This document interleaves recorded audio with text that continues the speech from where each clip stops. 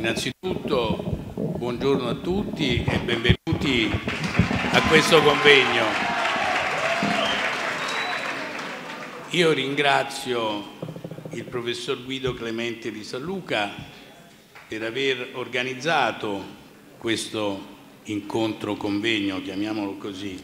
Gli faccio i complimenti per la sua pubblicazione Calcio e diritto io non l'ho letto ma lo leggerò molto attentamente, eccolo qua, quindi lo vedete, no?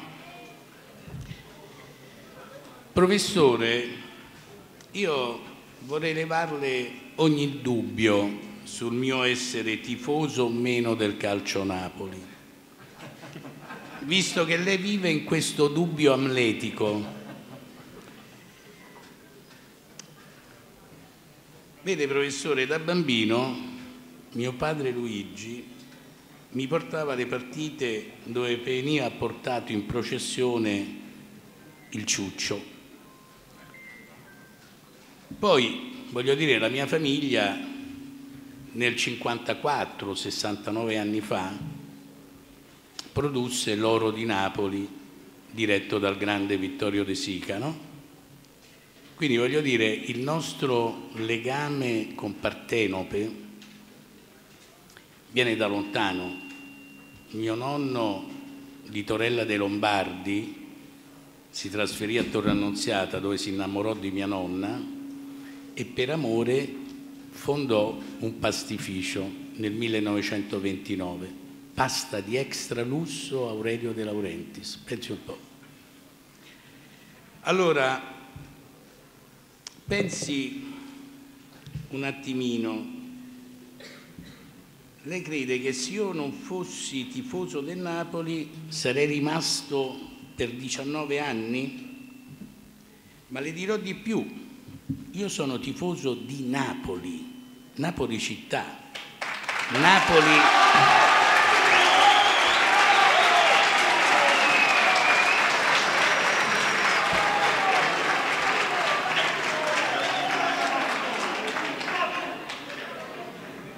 di Napoli ritenendola ancora una possibile territorialità centrale a livello europeo, come era nei secoli passati. Per molti aspetti io combatto ancora per privilegiare l'immagine di Napoli in tutto il mondo, differenziandola dalle altre pur belle città italiane e anche regioni italiane, perché come lei sa l'arricchimento, ma anche l'incasinamento del nostro territorio dipende dal famoso periodo del 1200 dei comuni, no? Tant'è che la prima trasmissione televisiva, visto che lei ha i capelli bianchi come me, non so se lei si ricorda Silvio Noto, con Campanile Sera, se lo ricorda? Pensi quanti anni fa, e non è cambiato nulla ancora.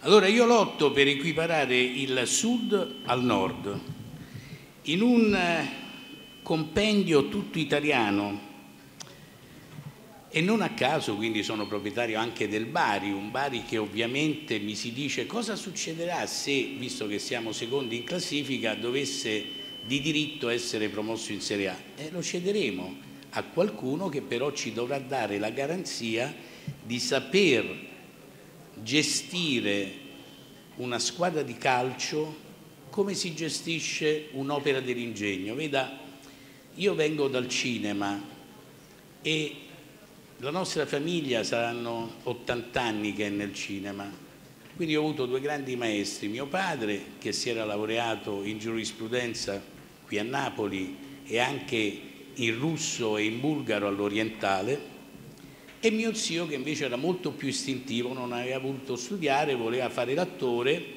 e poi si è messo dietro la macchina da presa. Quindi ho avuto due grandi maestri che mi hanno insegnato un po' a capire questo mondo complesso del cinema, perché il cinema è professionalmente parlando, senza togliere nulla a nessuno, estremamente completo come attività, perché si va dalla creatività, ma per creare un'opera dell'ingegno attraverso un processo industriale ce ne vuole. E quindi uno se non ha fatto la gavetta e l'esperienza, cosa che ho avuto la fortuna avendo due maestri come mio padre e mio zio, di poter fare, quindi ho fatto un'università effettiva, toccando con mano. Veda, noi avevamo 18 avvocati con il capo degli avvocati in una grande stanza. È lì che io ho imparato a vedere come si realizzavano i contratti per gli scrittori, gli sceneggiatori, come si acquisiva un'opera letteraria. È lì che ho imparato a verificare la differenza tra diritti d'immagine e invece un rapporto di dipendenza che poi ho applicato nel mondo del calcio perché se lei vede i miei contratti con l'allenatore o con i calciatori sono specchiati ai contratti con gli attori o con i registi. È chiaro il ragionamento? Quindi quando non mi si capiva qui a Napoli nel mondo del calcio, forse lei era tra questi, è perché io ero molto concentrato a cercare di dare una impostazione industriale da vera società per azioni, perché quello che si è sempre ignorato, io non mi stancherò mai di dirlo, è che Veltroni, che tra l'altro è stato un allievo scolastico di mio padre, nel 96 cosa ha stabilito? Ha stabilito che i club non erano più club, quindi non erano qualcosa per far venire fuori l'immagine del proprietario che poi faceva solo dei casini eh, di ogni genere, rispettando Lorenzo. Eh? Ma lui stabilì che erano delle società per azioni con finalità lucrative e lì è cambiato il mondo, ma poiché tutti i miei colleghi venivano da una conduzione vecchia, superata, obsoleta del calcio. Se lei immagina che noi abbiamo la legge 91 che è dell'81, quindi 42 anni fa, se lei immagina che la legge Melandri che ci rompe i coglioni da 20 anni, come si fa a dire noi dobbiamo curare la, i, i, i bilanci delle società che sono in perdita? ma per curarli, tesoro mio, bisogna fare tabula rasa e dire ma se sono società per azioni, se questa è un'industria, se esiste il merito, bisogna a un certo punto rirapportare tutto in un contesto che sia produttivo. Allora, se a un certo punto uno è convinto che ci siano due realtà calcistiche che per merito salgano in Serie A ma che nessuno vuol vedere perché magari fanno 2000 presenze in televisione, è chiaro che quello mi crea un disagio da un punto di vista. è molto difficile perché democraticamente a tutti dovrebbe essere dato il diritto di arrivare. Però ci sono dei limiti perché il calciatore che viene dal basso può attraverso l'esperienza affermarsi e arrivare in alto. Il pilota di go-kart, passando per la Formula 3, la Formula 2, arriva in Formula 1. Ma la Formula 3 non può restare nel campionato di Formula 1 perché diventa perdente. Allora il campionato di calcio, se compendia delle squadre che non hanno le capacità economiche, è chiaro che diventa un campionato già forzato, già sballato, già compromesso e questo nessuno lo vuol capire. Ma poi soprattutto che cos'è che è grave? Che lo Stato è assente. Prima Gravina faceva un racconto di che importanza anche sul piano sociale e sul piano della redditualità e del gettito fiscale però siamo stranieri in terra, siamo misconosciuti. Che cosa, che cosa succede? Dicono, eh ma voi siete miliardari, voi vi riempite di debiti, voi strapagate i calciatori. Allora io le dico che qui il grosso problema non sono i calciatori, il grosso problema sono i procuratori allora io ho chiesto alla FIGC, e mi dispiace che Gravina è andato via, mi studiate una modalità per cui una squadra di calcio può lei stessa esercitare la, la procura di un calciatore? In modo tale che leviamo subito il biscotto dalla bocca di chi non ha la digeribilità per poterlo fare, perché innanzitutto perché i contratti devono essere di 5 anni? Perché qui si creano le cose nel passato e non si cambiano mai. E questo è un grande svantaggio, ma io se voglio fare un contratto per otto anni devo essere possibile di farlo. Perché? In Premier il Presidente lo stanno già facendo in effetti. Perché? Perché dopo il, i due anni comincia il procuratore, soprattutto se il calciatore ha cambiato procuratore e quello non ha guadagnato ancora, no? Allora comincia a dire, oh tu devi rompere le scatole, tu devi fare questo in modo tale che loro si stancano, ti vendono e quando noi vendiamo io mi prendo 5 milioni di commissione, 10 milioni di commissione. C'è stato un, un procuratore, Mino Raiola, pace all'anima sua, simpaticissimo. A lui era uno che prendeva 25, 30, 40, 50 milioni di commissione sulle spalle di chi? Sulle spalle di un club. E poi si creano le sperequazioni, i casini bilancisticamente parlando, i fallimenti. Eh, allora, il discorso è molto semplice. Qui abbiamo la FIFA e voi avete visto su Netflix che cosa ha combinato la FIFA negli ultimi vent'anni. L'avete visto? Perché se non l'avete visto, guardatelo, si sono rubati miliardi e miliardi e miliardi, perché la verità è che poi FIFA e UEFA dove stanno? Ginevra vicino, lì a Nyon, e Zurigo, fuori da qualunque tipo di giurisdizione di carattere europeo. E nessuno li controlla, perché poi si sa, il calcio che mi dà il biglietto, che mi fai venire, che mi inviti, che mi fai, che mi... è un grande passepartout, ahimè. Io che sono molto rigido vengo contestato, io che sono per la legalità totale vengo contestato, mi si dice non sei tifoso, No, io sono per l'organizzazione che funzioni, dove tutti hanno diritto, ma non hanno diritto. Se io vi faccio vedere quanti sono stati arrestati dai nostri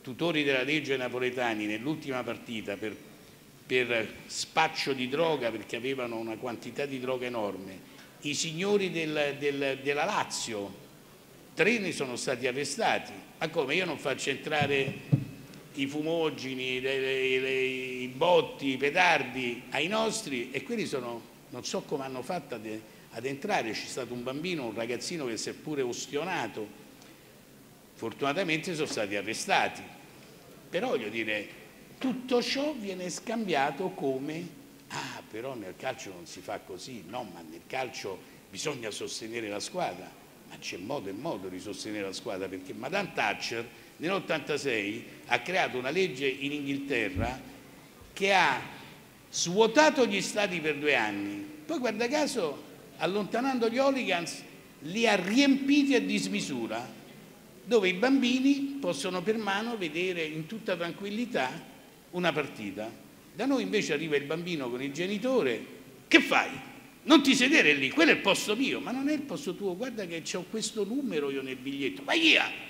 Eh, cioè, questo crea un problema, è anche diseducativo, perché poi gli adolescenti quando sentono i cori, le cose, credono che quella sia la realtà, ma quei cori sottintendono una cosa semplice. Il Napoli siamo noi. Eh,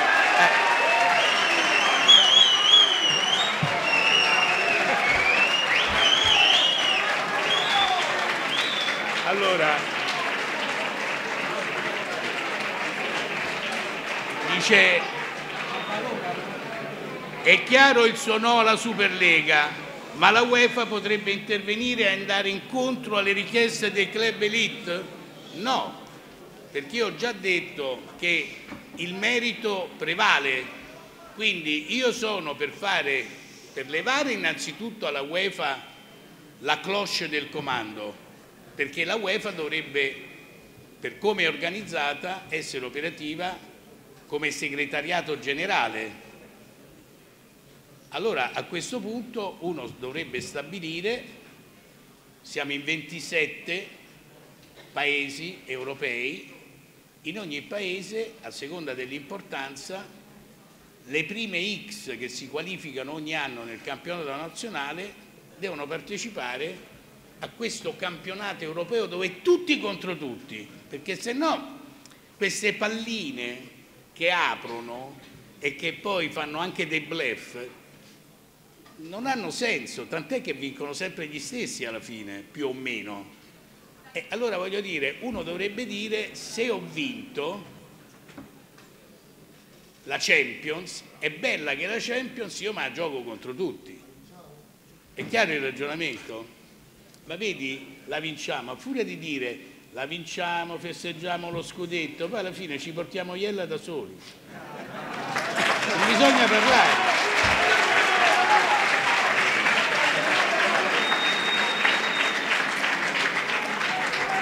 Perché vedi, a quello che mi ha detto la vinciamo, bisogna essere silenziosi, perché le onde negative si propagano.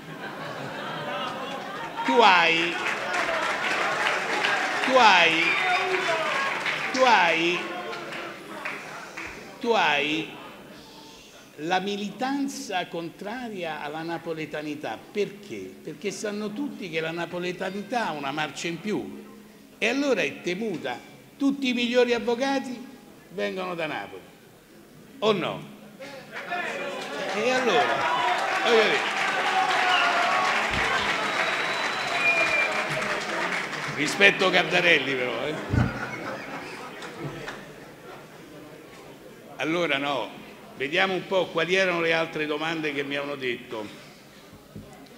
Uh, dice la sconfitta con la Lazio è un incidente di percorso? salutare, anche perché se no uno si siede, no? rischia di sedersi, invece è così, io mi auguro perché lì Sarri è stato molto paraculo, perché invece di giocare come al solito alto, che ha fatto? Ha bloccato i due terzini, non ci faceva giocare e, e poi Caravasteri ha fatto quella cagata di mettergli la palla sui piedi a Vesino e quello che doveva fare, ha tirato e ha segnato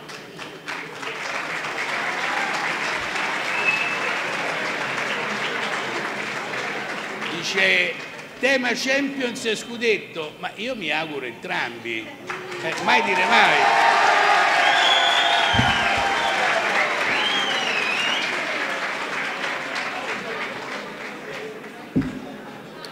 In caso di promozione del Bari in Serie A, cosa succederà alla società?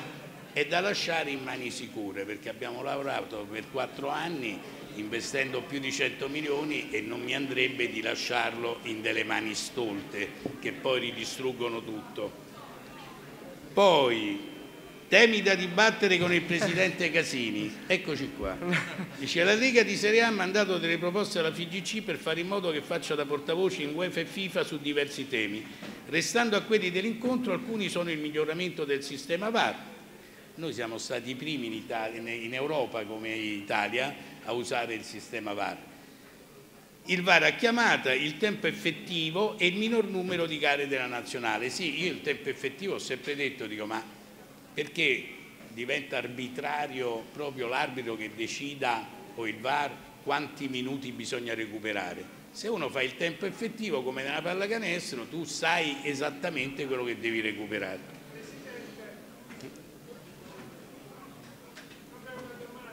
Di. Eh?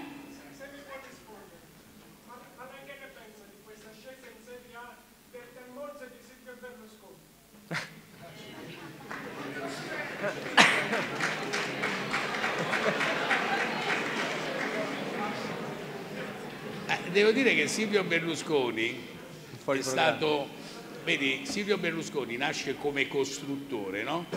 Fa Milano 2, Milano 3, poi a un certo punto prende Canale 5, poi Mondadori gli vende Rete 4, Edilio Rusconi gli vende Italia 1 e mette in piedi Publitalia.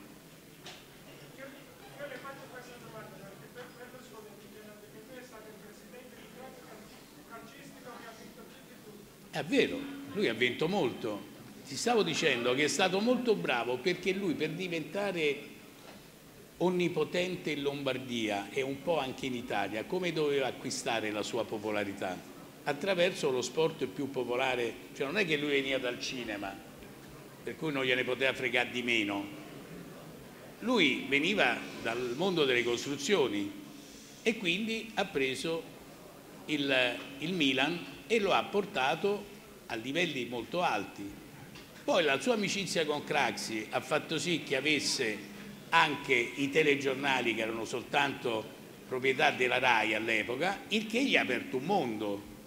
Poi sappiamo come è andato a finire con il povero Craxi e quindi io mi ricordo che nel 2004 io dovevo andare a Parigi a comprare l'ultimo dei Moicani e mi fermo a casa di Berlusconi ad Arcore e lui ma che c'è Silvio? Che, che, che, no, questi mi vogliono levare le televisioni, no, eh, ma che te frega, ma vai a Los Angeles, comprati la Metro Goldwyn Mayer, in vendita c'è Kerkori anche la vende per 5, milioni, 5 miliardi di dollari, vendi tutto, fottetene, vai là.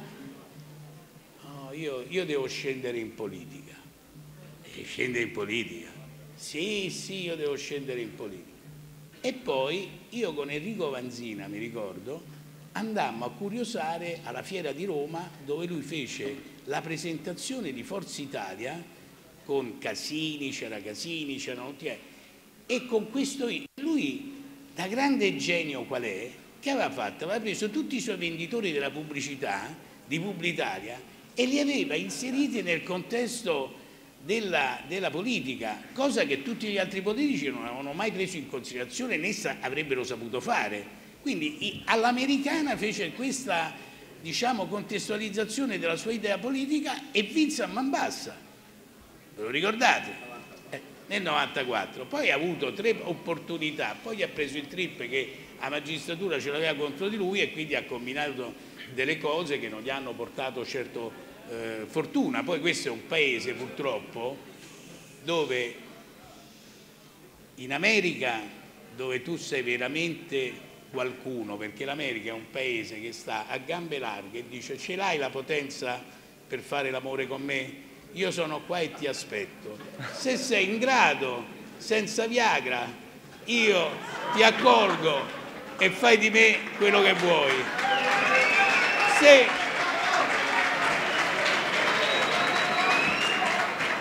se sei debole è meglio che te ne torni a casa. In Italia no, in Italia prima di tutto il cattolicesimo e il comunismo che caso hanno combinato sto gatto comunismo? Che regnava l'invidia. Tu non potevi avere successo perché se avevi successo dovevi morire. È chiaro il ragionamento e questo è un grande limite. In America tu non sei colpevole, tu sei sempre innocente, fino a prova contraria. In Italia tu sei colpevole ma devi dimostrare la tua innocenza, è tutto il contrario. È chiaro il ragionamento? Eh. Poi se volete fare qualche domanda siamo qua, abbiamo il Presidente Casini che è una persona di grande livello.